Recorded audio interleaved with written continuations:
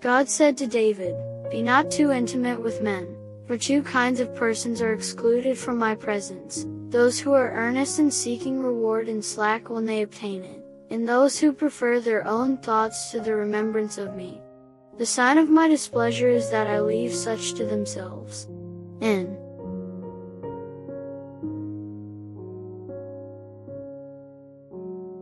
A unity of three separate relationships. 1. Our relationship with others, nature and the universe. 2. Our relationship with God. 3. Our relationship with ourselves. These relationships are not alien to one another, there are no boundaries between them. They move in the same direction.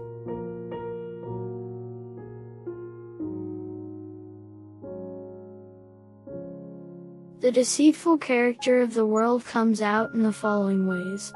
In the first place, it pretends that it will always remain with you, while, as a matter of fact, it is slipping away from you, moment by moment, and bidding you farewell, like a shadow which seems stationary, but is actually always moving.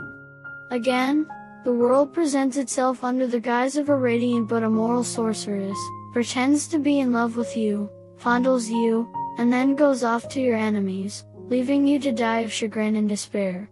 Jesus, upon whom be peace, saw the world revealed in the form of an ugly old hag. He asked her how many husbands she had possessed, she replied that they were countless.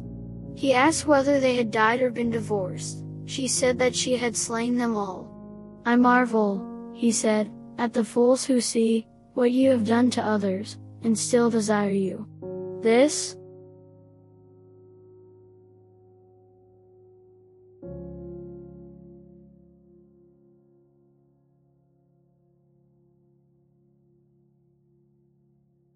It is related that Satan came before Yahya.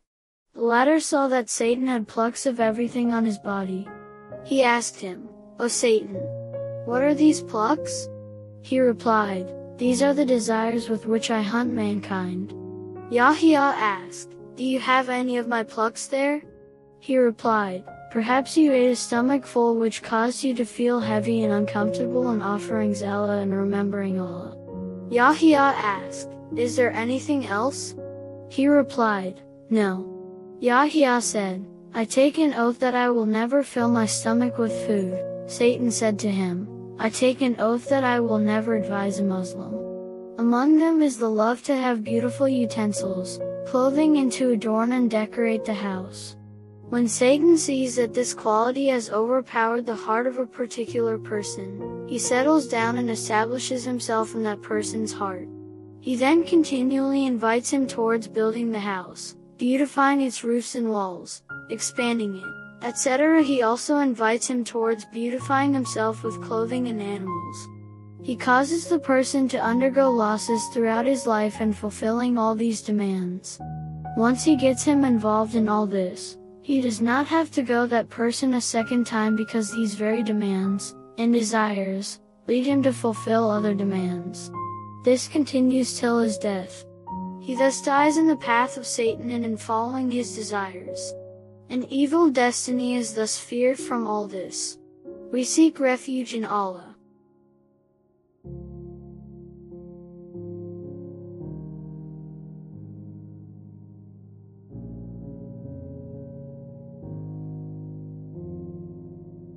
The first step to self-knowledge is to know that thou art composed of an outward shape, called the body, and an inward entity called the heart, or soul.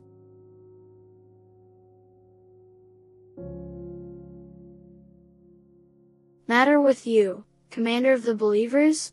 To this he would reply, The time has come for a trust which God offered to the heavens and the earth and the mountains, but they refused to carry it, they were weary of it, but I have taken it on.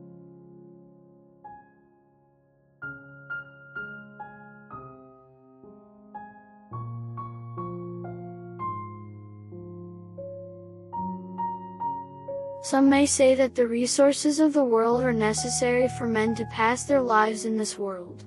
How can they abstain from using these necessaries of life?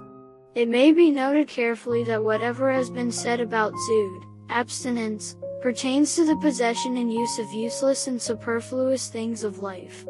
The practice of zuhd has been advised about things which are not indispensable for life in this world.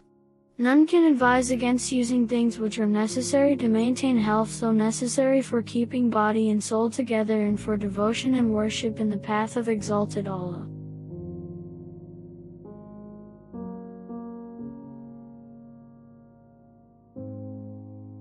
Ibn al-Musayyab said, If a person performs prayer in a wilderness, an angel prays on his right and an angel prays on his left. If he also gives the call to prayer and the signal to begin, angels perform prayer behind him and rose like mountain ranges.